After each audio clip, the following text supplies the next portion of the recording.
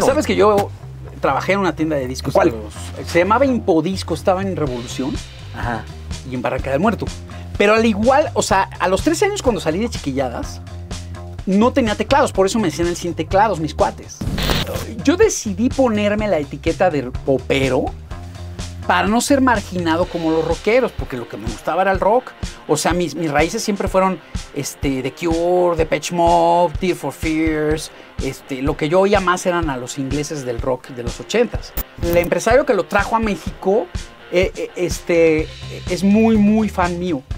Y me dijo, quiero cumplir mi sueño de ver a Elton John y Alex Intec juntos en el escenario. Y cuando te llega el éxito por primera vez, pues a veces sí te descontrola, porque cambia todo a tu alrededor. ¿eh? O sea, ¿Cuál fue el primer momento de éxito que dijiste, wow, wow, qué pedo? Obviamente fue Sexo, Pudor y Lágrimas en el 99. Laboratorio de Emociones presenta. Presenta. Presenta. Contenido extra. Contenido extra. Amigos de contenido extra, me da muchísimo gusto un capítulo más y este eh, en un lugar muy especial con un amigo muy especial al cual sigo desde hace muchísimos años, décadas diría yo, y que hoy nos abra su estudio, que hoy nos abra su lugar, su, eh, estaba oliendo un poco el, el- estudio y estaba diciendo, caray, cuánta inspiración no habrá pasado por aquí, cuántas obras no se han engendrado aquí. Y está con nosotros Alex Intec. Alex, ¿cómo estás? Feliz, Jessy. Eh, la verdad que sí, a lo mejor mucha gente lo ignora, pero yo te conocí en Guadalajara en una estación de radio y me entrevistaste en mi primer disco con la gente normal, en la década de los noventas. Y nos hemos ido siguiendo la, la pista con esta amistad de muchos años. Este, tú a través de, de tu trabajo como comunicador y yo de compositor y músico, ¿no? Y ha sido padrísimo ver el crecimiento que ha sido de picar piedra, para, tanto para ti como para mí, y de ir ganándonos el derecho de piso poco a poco, ¿no? A base de mucho esfuerzo y mucho trabajo. Algo que me encanta decirle a los chavos de ahora, de no se desesperen, no, no se compren esa idea de que todo tiene que ser inmediato como se las venden. Hay que cocinar las cosas a fuego lento, ¿no, mi Jessy? Oye, es carrera de resistencia, ¿va? Sí. No de velocidad. Y, y cuando digo resistencia, eh, digo que todo esto que ven ahora... eh, Fueron muchos años de sí, poder claro. llegar a cumplir este sueño de este estudio. Exactamente, ¿no? O sea, ¿cuánto no pasó para que pudieras estar aquí? Totalmente. Y la verdad es que ahora los estudios de grabación, y muchos se darán cuenta porque cuando ven videos de YouTube y todo eso, pues están con una computadorcita y unas bocinas y haciendo todo eh, adentro de la compu, ¿no? Pero yo sigo siendo fiel al, hardware, al equipo externo de teclados, de procesadores. Y uso algunas cosas digitales en la computadora, pero la verdad es que el sonido análogo que te da la, la- la- la maquinaria en sí, física, es precioso. Es, es- es como, como la diferencia entre el vinilo y el, Y el CD. ¿no? Que, y sabes que hay, hay- hay un detalle imp- importante, es el plástico, es decir, el vinilo no era, era, no era plástico, era celofán, con, con Hasta el cartón, con el olor del, del booklet, que era grande, olía diferente. Y el acetato olía también muy el bien. acetato y el CD, lo primero que era el plástico, o sea, tú tenías que romper el celofán, no sé si era, y el olor ya era plástico, porque la caja era de plástico, ¿no? Entonces ya ahí cambió el olor. Y ahora pues la música luego y creo que huele a celular, porque pues todo está en plataformas, ¿no? Todo está en una nube y... así como- ¿Inolora? ¿Ah? Una nube inolora, o sea, el vinilo Inolora, olía, sí. ¿sí? O sea, ese es lo único malo de, de esta época del streaming. O sea, la parte buena es que tienes un mar de, de- de contenido y a la mano así, ¿no? Inmediato. Ya hubiéramos soñado en nuestra época de chavos tener ese acceso. No teníamos ni conciertos, o sea, nos, con- nos, nos, eh, cancelaron los conciertos en los ochentas que porque incitaban a, a la violencia y no sé qué, y el gobierno no quería. Entonces, no, sé- no sé si fue el presidente Echeverría, pero después de Avándaro ya no hubo conciertos. Sí, claro. Y entonces, nuestra generación, pues, tenías que ser niño junior, que tus papis te pagaran tu viaje a Los Ángeles o a Nueva York o así para ver un concierto.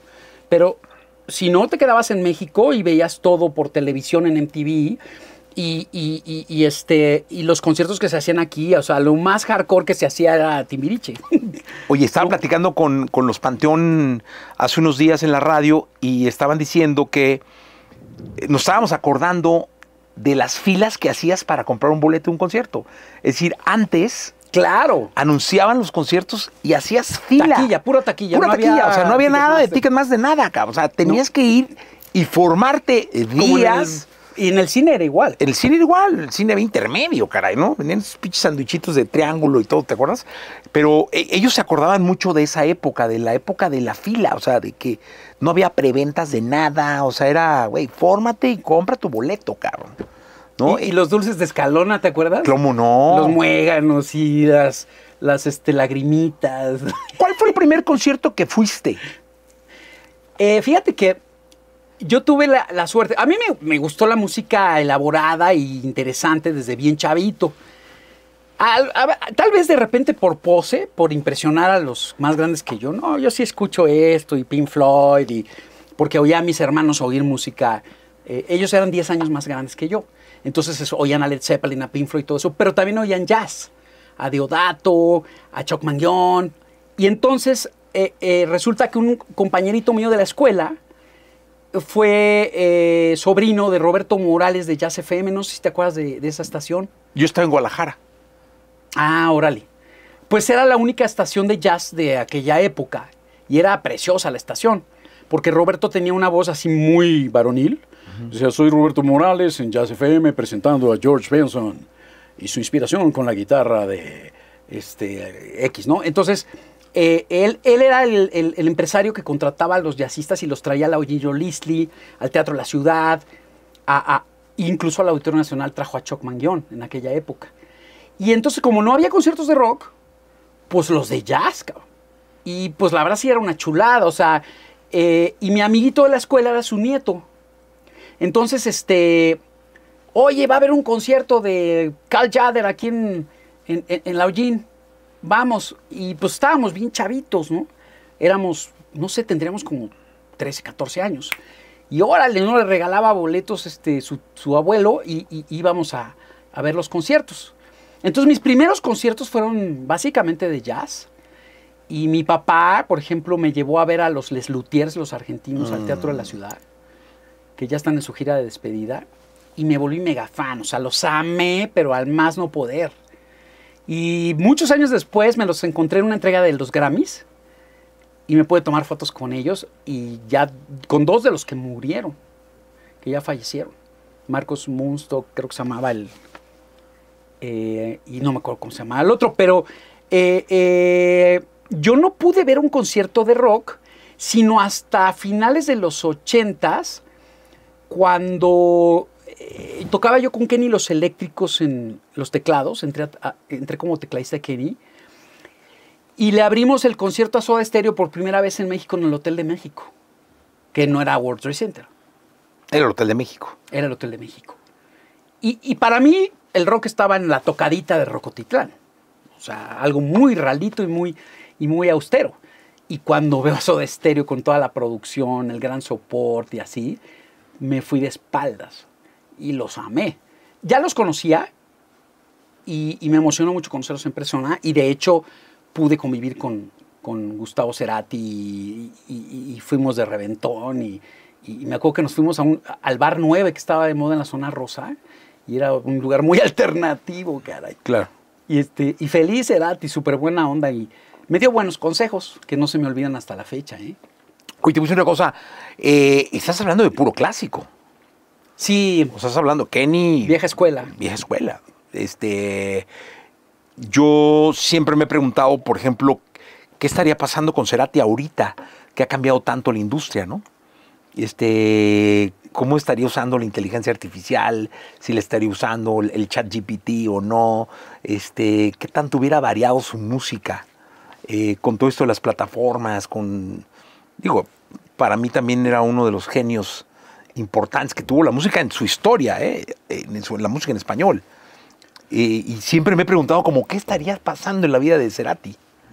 Sí, pues ser- eh, para los que eh, somos super fans, ¿no? Y fuimos super fans, Este, sí es una, una gran incógnita, pero no creo que diste mucho de, de lo que ha hecho Enrique Bumburi, de lo que ha hecho Fito Páez, de lo, o sea que es adaptarse pero no perder su esencia. Lo que he hecho yo mismo, ¿no? O sea, eh, este, yo el día de hoy ya soy artista independiente, no pertenezco a una transnacional grande y, y me, y me manejo como tal. Y de hecho, hace un momento platicábamos, ¿no? Que, que eh, eh, la radio sigue siendo un medio muy importante para la difusión, pero ya el terreno que ha agarrado lo digital, pues es, es también eh, eh, muy relevante. y entonces te tienes que adaptar a todo, a esos, este, esas opciones, ¿no? Y, y, y, por ejemplo, yo me he dado cuenta que los que somos clásicos no hemos dejado de hacer álbums, porque ahora ya hay mucho artista de single, de sencillo, ¿no? Que está lanzando en Spotify. A ver, hay mucha gente que no sabe qué significa un álbum. Exacto. O sea, hay muchos chavos que están ahorita empezando en- con las plataformas que tú dices álbum y qué es eso, cabrón. No, no. La verdad, o sea, no, no, nunca entraron a una tienda de discos.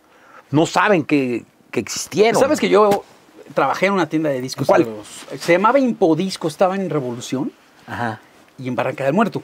Pero al igual, o sea, a los 13 años cuando salí de chiquilladas, no tenía teclados, por eso me decían el sin teclados, mis cuates. Es que tú los pides prestados, los teclados. Y, y entonces, eh, eh, siempre me paraba fuera del aparador de una tienda de órganos que se llamaba Organorama, que estaba aquí en Miguel Ángel de Quevedo y, este, y Universidad.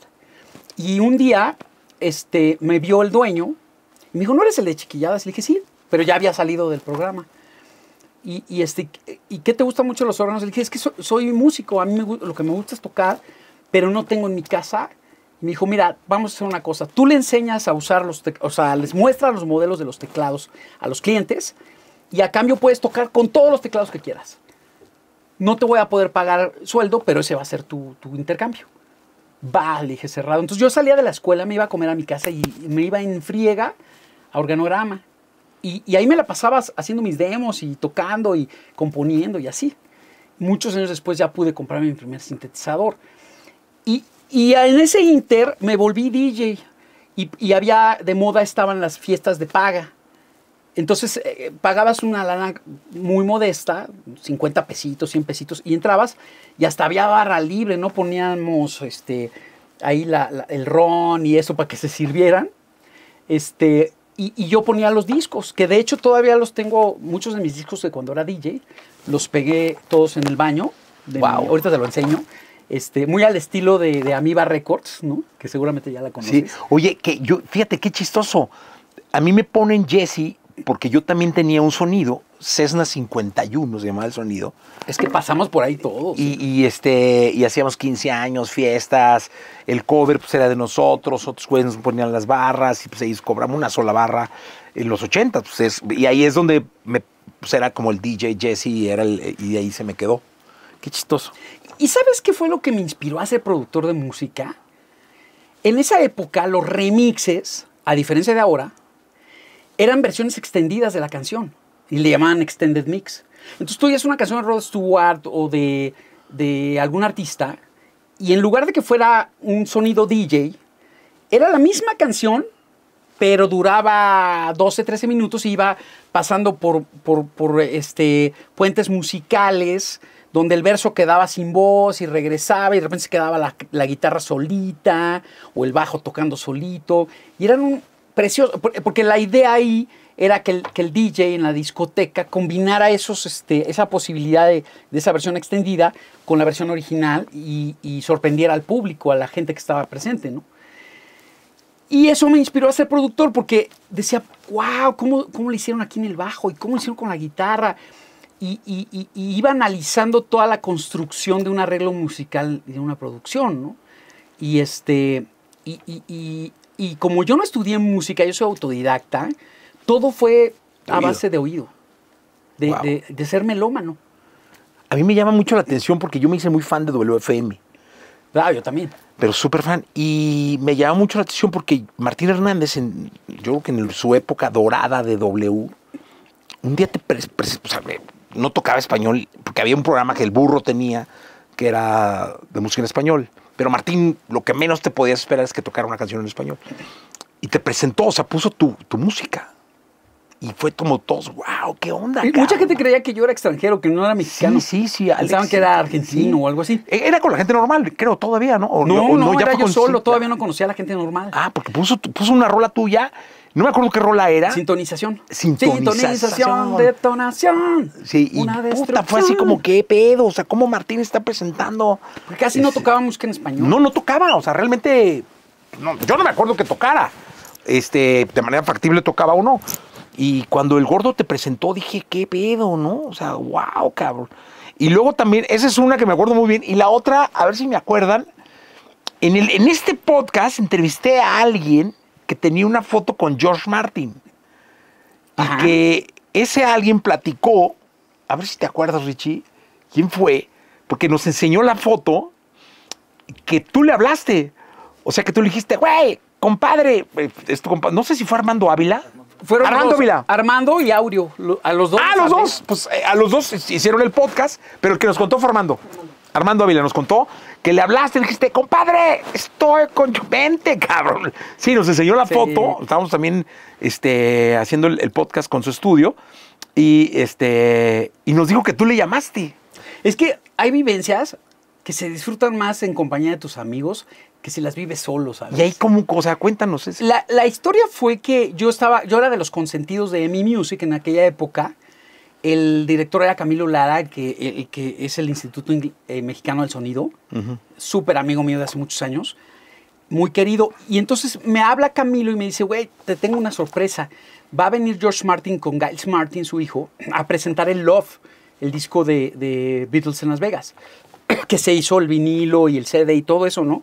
Y ya ves que depuraron las canciones, las acomodaron diferente y, y iban a presentar con Surround 5.1 ahí en EMI a VIPs, invitaron a, a diferente gente de los medios, ¿no? Y de repente este, me dice, Alex, acabo de ver y hay la posibilidad de que conozcas a George Martin, estés con un ratito con él, ¿no? Y le dije, va, pero cerrado. Le digo, oye, ¿puedo llevar un par de amigos? Me dice, órale, va. Y es que, sobre todo Armando Ávila, que lo conozco de hace muchos años, es mi compadre, padrino de mi hijo. No conozco un fan de los Beatles más así hardcore que él. Tiene una colección de los Beatles total, ¿no? Y este. Y, y, y Aureo Vaqueiro, que también ha- he, he producido cosas junto con él y todo eso, y también un amigo de muchos años. Y sabía yo que iban a apreciar mucho la oportunidad. Entonces les hablé, les dije, vénganse para acá conmigo, nos van a presentar a George Martin, no lo podían creer, No, eso nos dijo. O sea, güey, ¿cómo? Sí, voy para allá. tal cual. Y la verdad es que... Y tienes Nos- foto ahí en el estudio, ¿eh? Sí, sí, sí, ahí está, mira, allá atrás. Ah, ya está, claro. Nada más porque no la alcanzo así fácilmente, pero, Sí, pero sí. ahí está la foto. Esa misma foto Eh, lo enseñó. Me llevé el Rubber Soul, que, porque fue el que tenía la mano, y, este, y me lo firmó George Martin. ¿No? Lo tengo así súper de colección. George Martin divino, pobrecito, ya no, ya no, se quedó muy sordo por, por los niveles de volumen, entonces ya no oía nada. Y, este, y le decía yo, ¿me lo puedes firmar? Sí, pero dime tu nombre. Alex, ¿y qué?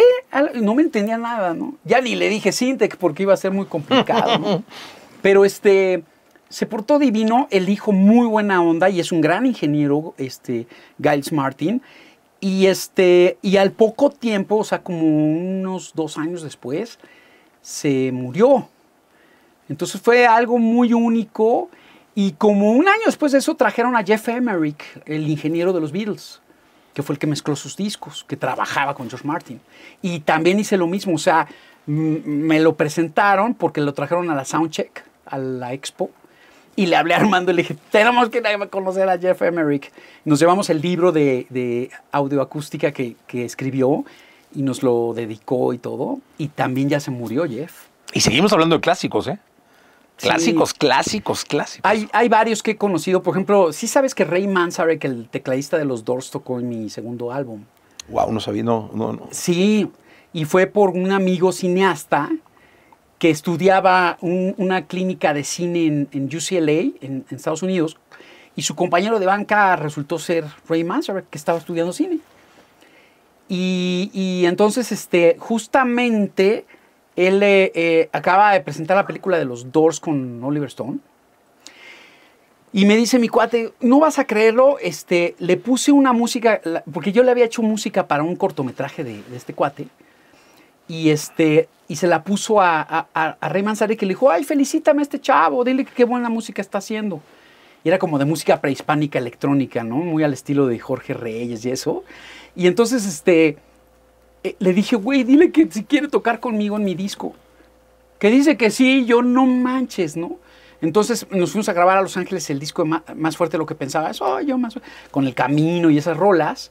Y había una en especial que le gustó mucho a él, porque le di a escoger. Y dijo, esta me gusta, una que se llamaba Nuestras Costumbres. Nada más consígueme un Hammond B3, como el que tocaba con los Doors, y voy y me lo aviento. Y justamente en el estudio tenían un Hammond de colección idéntico al de los Doors.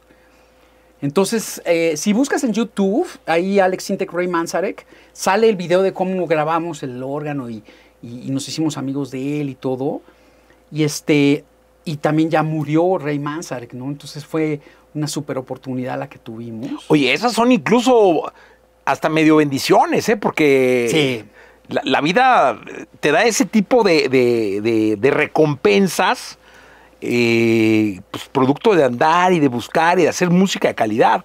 Porque si él no hubiera escuchado algo, este, pues no, no hubiera dicho toco con él.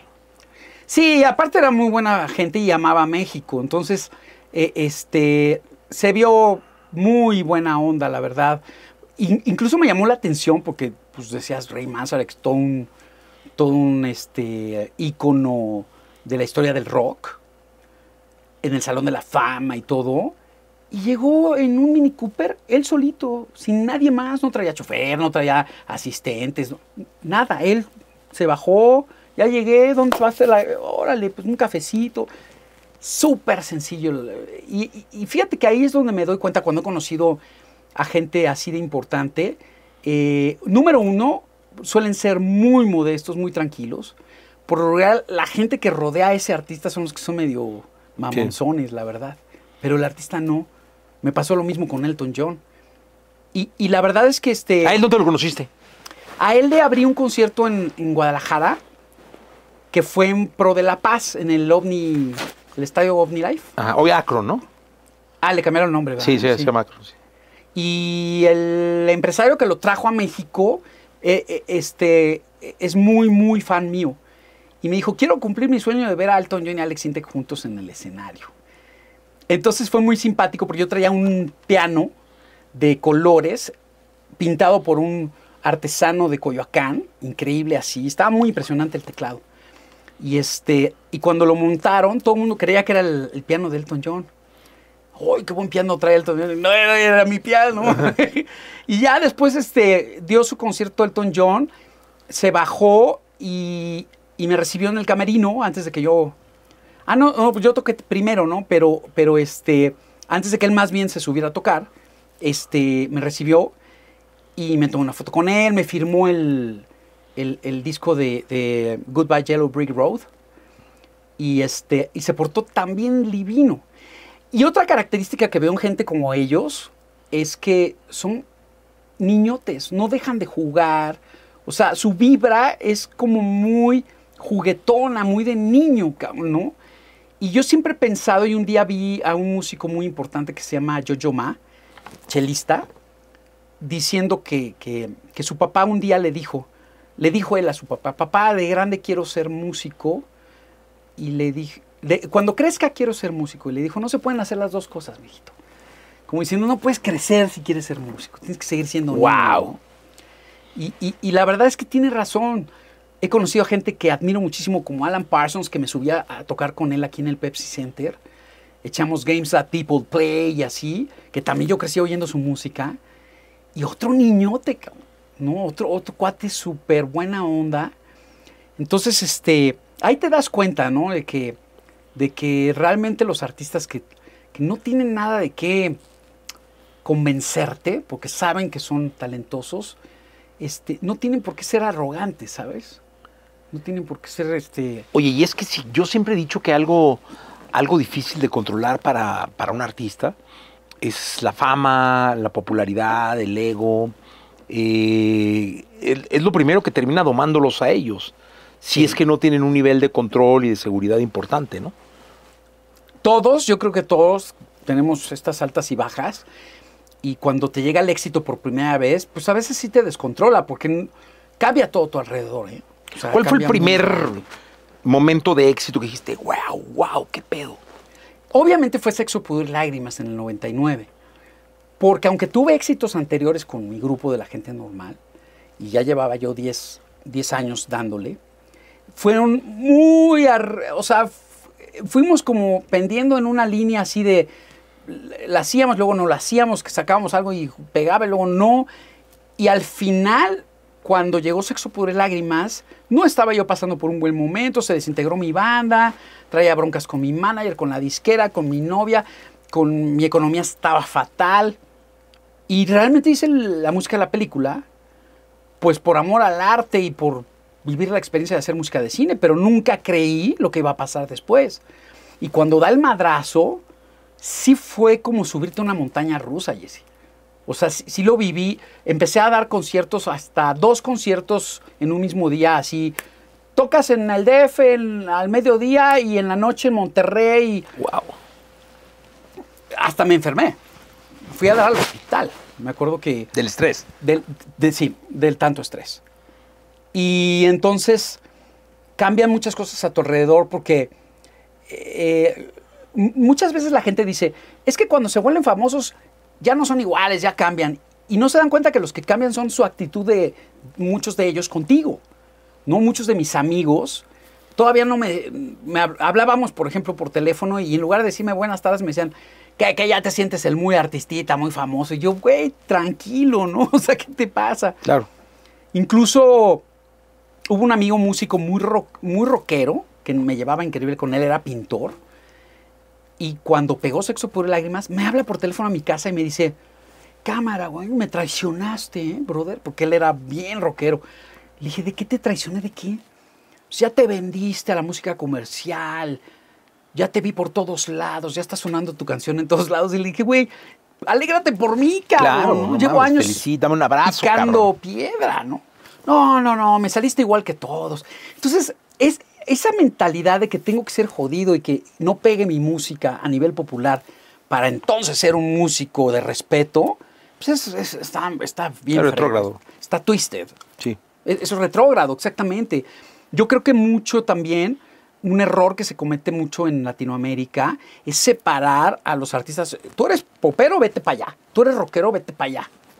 Cuando en Inglaterra y en Estados Unidos tocan rockeros como poperos. Poperos y con todo sin problema. Sí. yaceros, Incluso hay grandes versiones, eh, por ejemplo, de Robbie Williams, de grandes canciones de rock. O sea, como que no hay tanto ese. Y, y Esa ahora, división. Y yo creo que ahora con todo esto de lo digital, como que ya se. Los géneros se han pulverizado, ¿no? Ya, ya hay 10. O sea, hay más géneros que canciones, caray. Totalmente. No, y, y ya todo es fusión.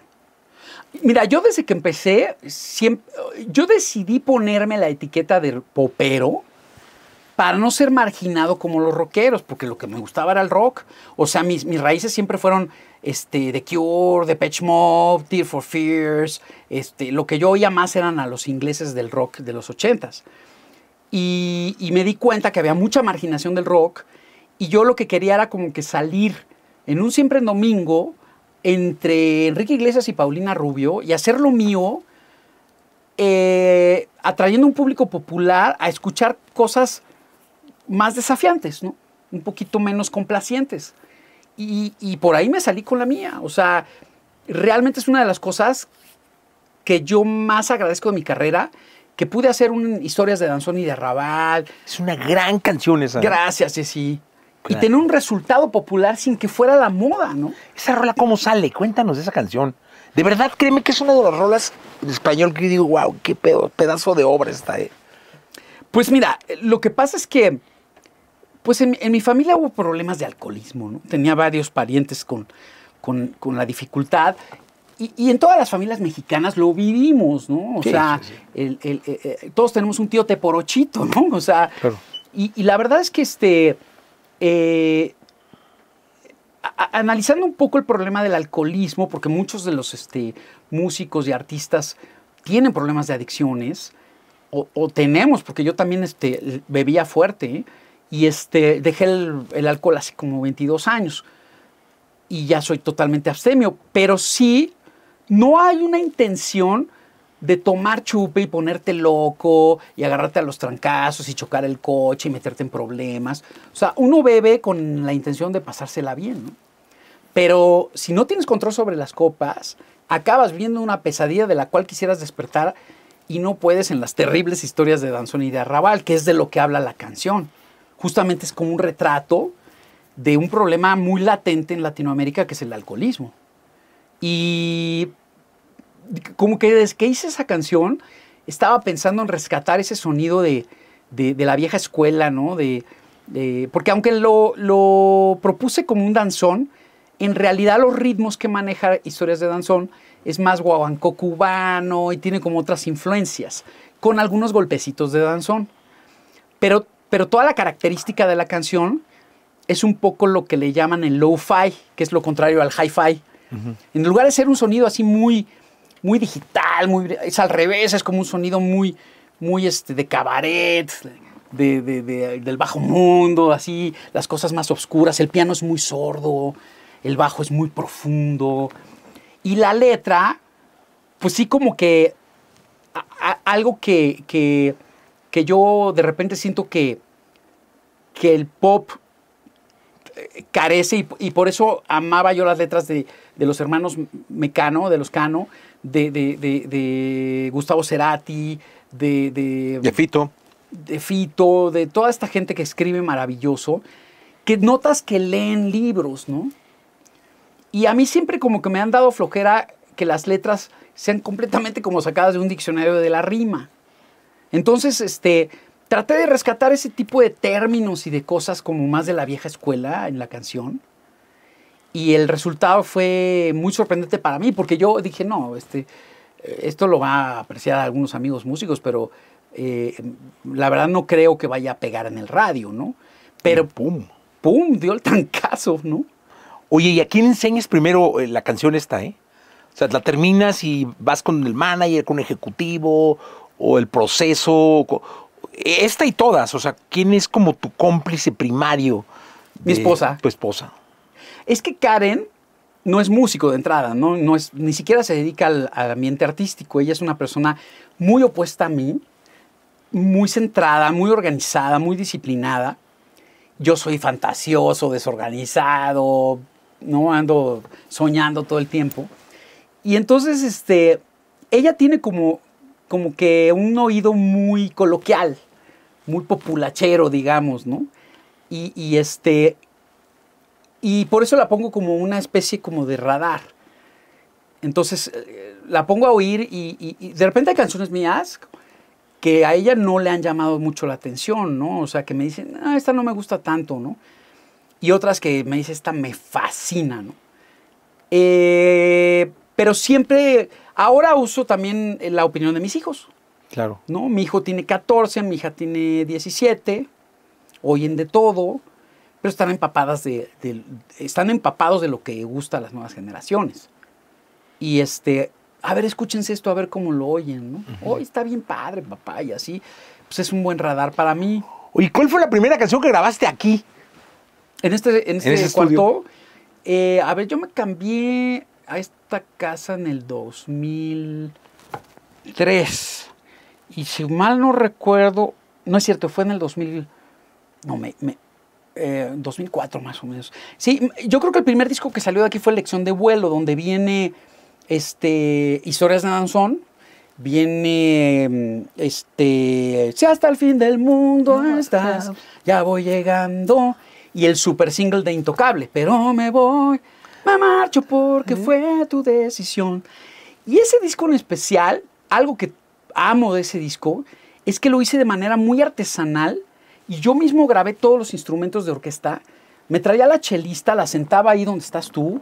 Yo la, la microfoneaba, sacaba unos jamoncitos, unos quesos, el cafecito, lo que fuera de tomar. Platicábamos, tocaba el chelo, le decía cómo lo quería y para su casa, ¿no? Luego me traía el acordeonista y a ver, tú vas a tocar estas partes, luego el trompetista. Y fui haciéndolo de una manera muy pausada y relajada, con mucha dedicación. es el disco de toda mi carrera con más instrumentación de orquesta que he usado. ¿eh?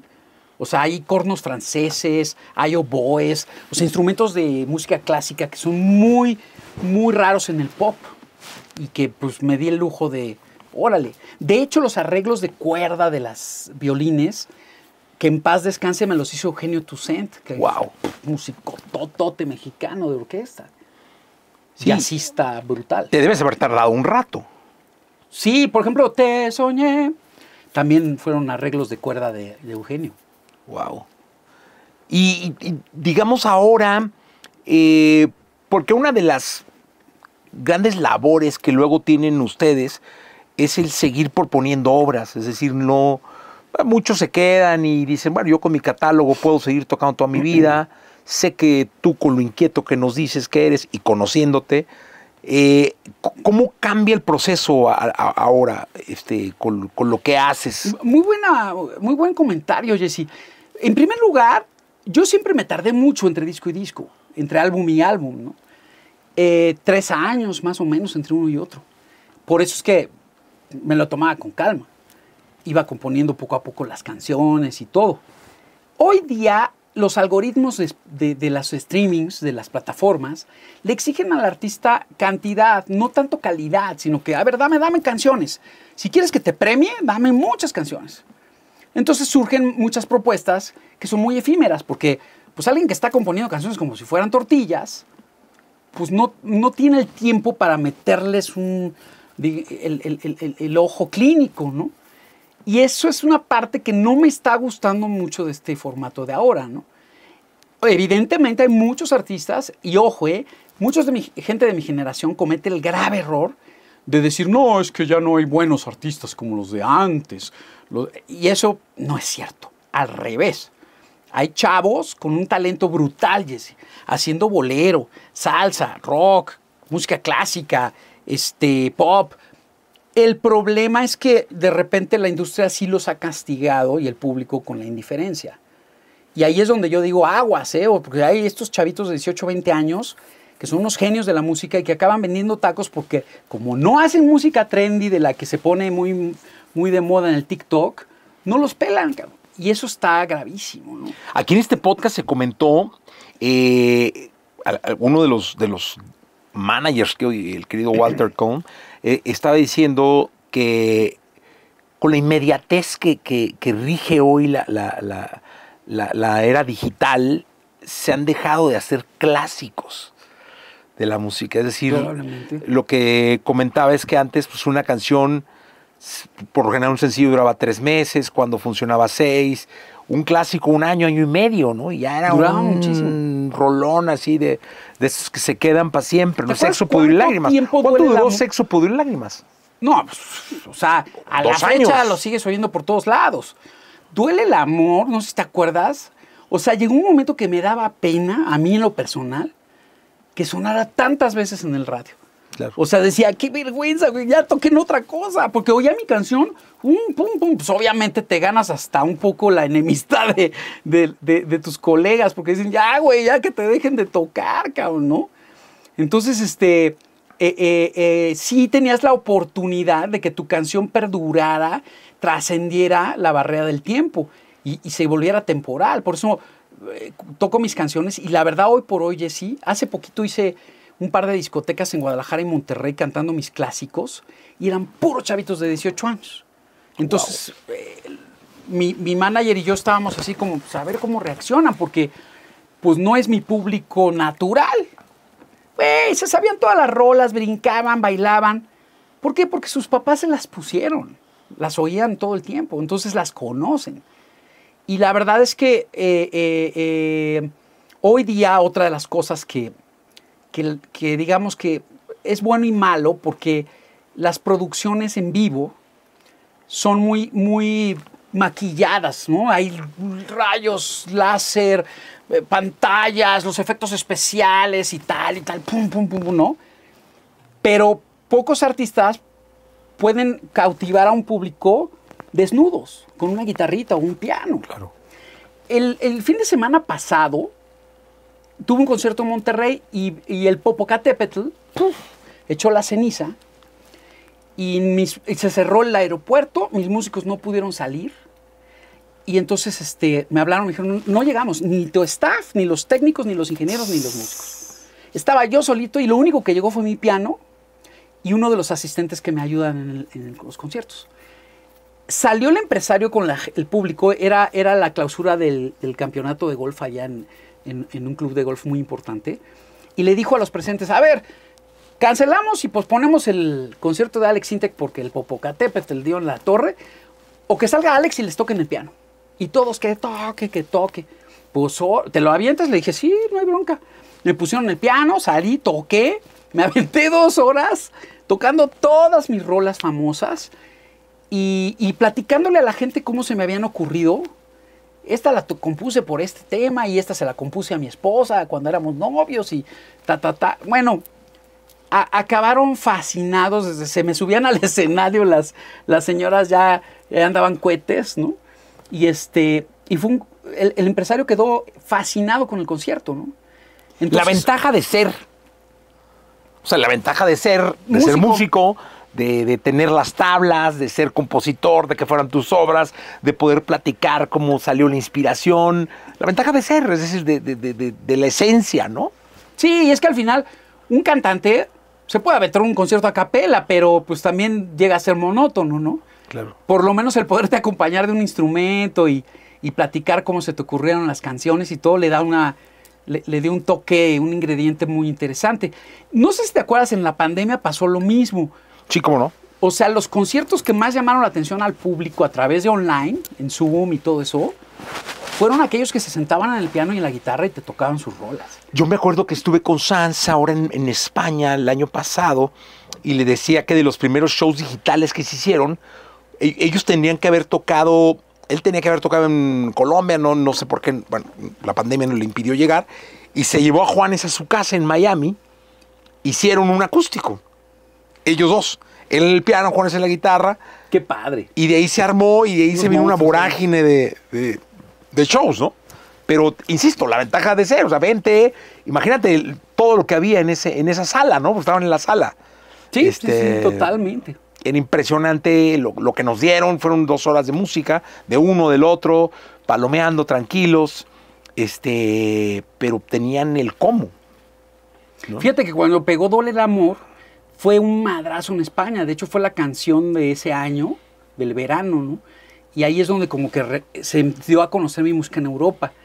Y estaba yo haciendo promo de, entrevistas y televisión española.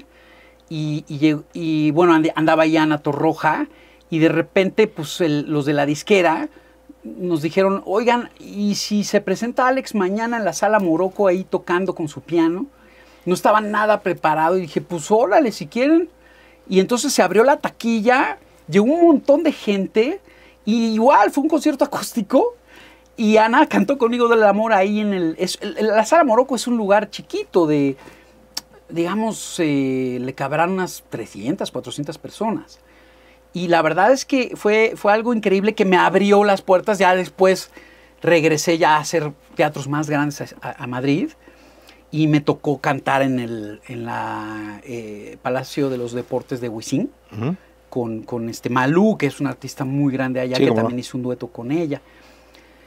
Pero, ¿sabes qué? La verdad, Jessy, yo soy muy que me adapto, ¿no? O sea, si, si está fallando el micrófono, si está, veo cómo le hago, pero saco el concierto adelante, ¿no? Nunca me vas a ver pelearme con el ingeniero o, o hacer berrinche en el escenario, no me estoy oyendo bien. Cosas pasan, te acostumbras con el paso del tiempo Claro. y el público, pues, no merece que, que, que- o sea, ni siquiera se dan cuenta de que si está pasando bien o no. ellos nada más ven tu actitud. Y si te ven alegre y feliz, aunque el micrófono se esté cortando y esté fallando, la gente es feliz contigo, ¿no? Y, y la verdad es que todo es cuestión de actitud. Yo estoy convencido que puedes estar tocando súper virtuoso en el piano, pero si te ven muy serio y muy tenso, este, dicen, no, este no está tocando bien. Y te puedes estar equivocando mucho al tocar el instrumento, pero te ven contento y disfrutándolo y alegre y dicen, no manches, está tocando increíble Alex, ¿no? A mí me pasa que a veces los artistas, por ejemplo, van al programa y están tocando y, y se equivocan y como que les viene un shock y entre ellos, ya sabes, ¿no? y cuando termina, no, te equivocaste, güey, nadie se dio cuenta. Eh, yo que soy público, si no los veo y no los, nah, ni- o sea, el público ni en cuenta, güey. O sea, realmente nosotros no sabemos de acordes ni de tono, o sea, realmente se escucha bien, hay buena actitud, pues, está poca madre, la gente se la pasa muy bien, ¿no? Sí. Ahora, yo tengo muy mala memoria. Me cuesta mucho trabajo aprenderme las letras de las canciones. ¿Cuántas canciones cantas en un show? Eh, alrededor de 18 o 20 canciones. No, y de repente. ¿Y usas apuntador? Ahora de repente sí. Sobre todo cuando estoy estrenando canciones. Las que ya me sé de memoria, Sexo por la que me suena el amor, me las sé al derecho y al revés. No tengo una sola bronca. Porque con el paso del tiempo se te quedan pegadas como, como este cochambre en la, en, la- Sí. en- en- en el sartén. Pero, pero estreno una nueva canción. Por ejemplo, ahorita que saqué Cuerpo y Alma, de la novela esta que salió en Telemundo, saqué la de Eclipse de Luna. Las pongo en un teleprompter porque sí me da un poquito de, de miedo que se me vaya a ir. Y ahí conforme la repetición de los conciertos, pues ya, se me queda grabado y next, ¿no? Lo que sigue. Oye, ¿cuál fue la primera canción que te grabó un artista? Que no, o sea, la tuya que te grabara alguien. Se llamaba Oscar Atiesi, ¿te acuerdas de él? ¿Cómo no? Buenísimo. Sí.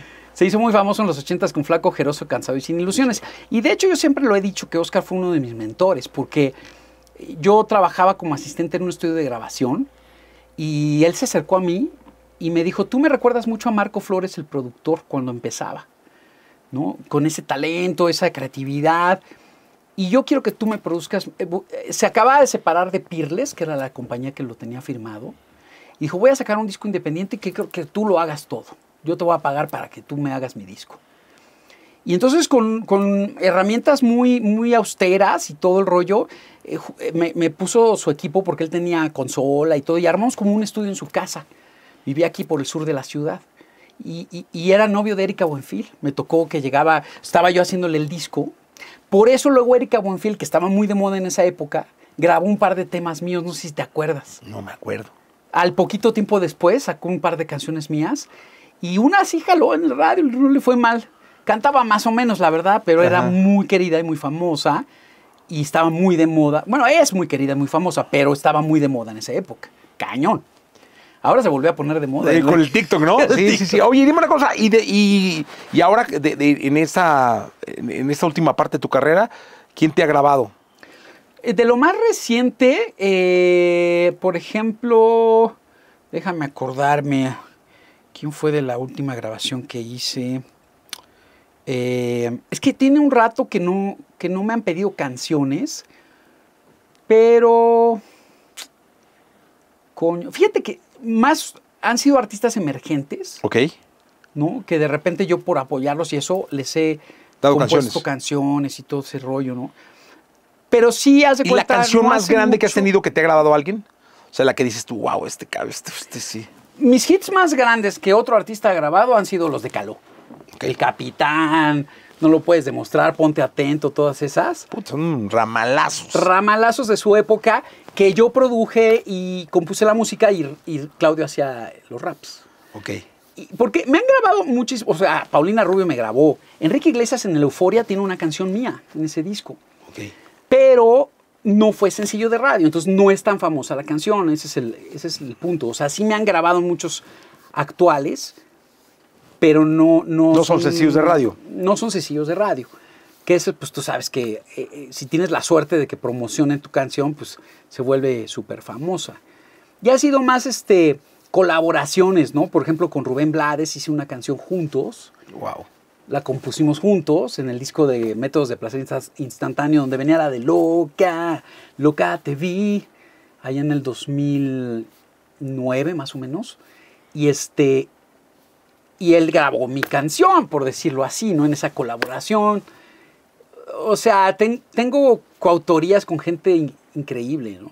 Que eso es, es algo que te marca de. O sea, tú ya. Hay cosas que han pasado en la vida que dices, uff, con esto yo me puedo quedar. ¿No? Este. Esto de Rubén Blades y todos los que nos has venido platicando, ¿no? Que, que- ¿Con quién te hubiera gustado grabar?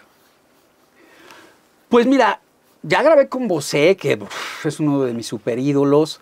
Este, me hubiera gustado muchísimo con Cerati. Pero desgraciadamente pues se nos fue.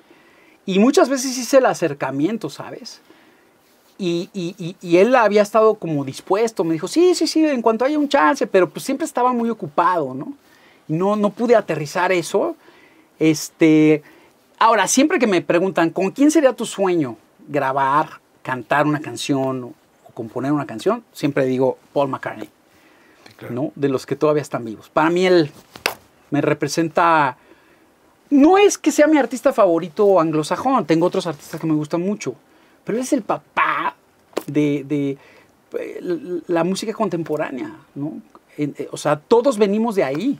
Casi toda la música pop actual viene de, de los Beatles. Sí. Y aparte, o sea, a pesar que John Lennon era el filósofo y era el que todo el mundo ama porque era el sofisticado y todo, la verdad a mí me parece que Paul McCartney es un genio fuera de serie, ¿no? Sí. Let It Be, por Dios, ¿no? O sea, tiene rolas que dices, no manches, no manches. No, y el este, que siga eh, todavía este, vivo y dando y... ¿Lo has visto últimamente en sus conciertos? O No. sea, te vuelves loco, o sea, parece niño, cabrón, ¿no? O sea, no, no sé Sigue jugando, como decías, ¿no? Sí, igual que Mick Jagger. Igual que Mick Jagger. O sea, dices, ¿cómo se le hace para llegar a esa edad y seguir con esa energía, cabrón? Está cañón. Oye, ¿cuál es, cu- cuál es el, el- ¿Qué le ha dejado Sinteca a la música en, en México? Híjole, pues es que es complicado que te, te diga, te lo, me pare yo el cuello de, de- de- de una cosa así. O sea, lo único es que sí creo que fui un art- en, en una época, ¿no? Y, y- y- y quisiera seguirlo siendo, o sea, sigue siendo mi lucha. Lo que pasa es que ahora es más difícil y, y no porque me, vaya menos bien o más bien que antes, sino porque ahora se diluye la música con tantas opciones que hay. O sea, mucha gente se me acerca y me dice, oye, ¿y, y, y cuándo sacas nueva música? Acaba de salir mi canción nueva la semana pasada. Pero no están al tanto, ¿no? Eh, Este, métete al Spotify, les digo, ponme follow ahí, para que te des cuenta que estoy aquí, saqué música. Mi más reciente álbum salió en el 2021 y está buenísimo todo, ¿no?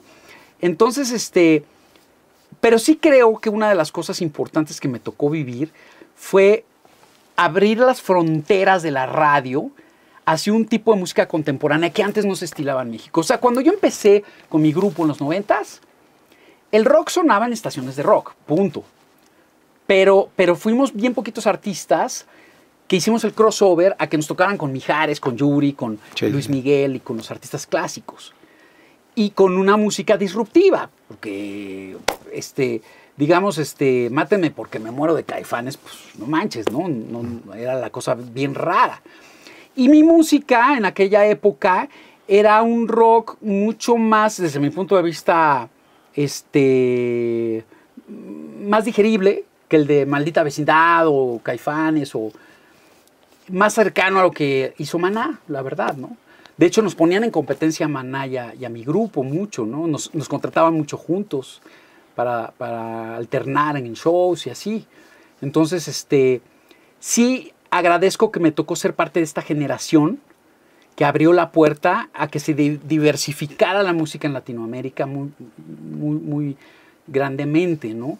Y, y este, la verdad, Jesse, me siento muy afortunado porque eh, eh, el sueño de un artista com- compositor como yo no es pegarla con un hit de radio de primeros lugares o una venta multimillonaria de discos o de streamings ahora, sino es perdurar, no Claro. pasar la prueba del tiempo. Que la verdad hoy día la tienen más difíciles los chavos de, de esta época porque todo es más efímero, más rápido. Era lo que mencionábamos hace rato. Y los algoritmos te están pidiendo contenido cada día. Entonces, este, por eso es que hay quien dice que los clásicos, ¿no? Este, son más difíciles de gestar ahora porque la, permanencia no es igual. Y, la verdad es que yo eh, eh, eh, sigo a la fecha haciendo música, ya cumplí 33 años de discografía y traigo todavía muchas ideas en la cabeza y muchas cosas que quiero hacer. Y si Dios me da la vida, pues continuaré tratando de sorprender al público con, con lo que sé hacer y lo que me gusta hacer, ¿no? que es mi propuesta. ¿no? Que no se confunda el público, yo jamás he hecho moda, ni he hecho cosas trendy, ni voy con lo, con, con- con lo que todo el mundo hace. Siempre estoy haciendo mi propio asunto, ¿no? mi propio nicho musical. Pues larga vida, Alex Sintec. Gracias, Jessy. Gracias por estar acá, gracias por estar en el podcast y esperamos seguir viéndote, escuchándote y, y que nos volvamos a encontrar en radio o en, o en- en un podcast o lo que sea para que sigamos vigentes. Claro que sí, mi Jessy.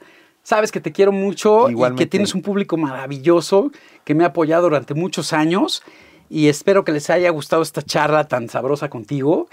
Y este, y, y- y- y de verdad, o sea, ya sabes que yo contigo me, me abro de corazón porque te quiero mucho y, y se platica bien padre. Muchísimas gracias, Sintec, por estar acá. Gracias a ustedes. Gracias. Laboratorio de Emociones presentó. Presentó. Contenido extra. Contenido extra.